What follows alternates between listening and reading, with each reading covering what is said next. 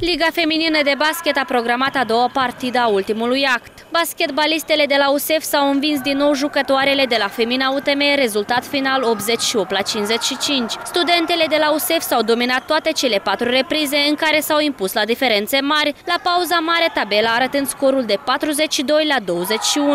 Cea mai bună marcatoare de la învingătoare a fost Olga Târzâman, aceasta reușind 34 de puncte pentru echipa sa. De la Violete s-a remarcat Alexandra Șubernieț, care Gheaia. Finala Ligii Feminine de Basket se desfășoară după sistemul cel mai bun din 5 partide, USEFS conducând cu 2-0 la general. În jocul pentru bronz, jucătoarele de la ASEM s-au impus în fața celor de la școala sportivă Rășcani cu scorul de 86 la 58, aceasta fiind a doua victorie a economistelor.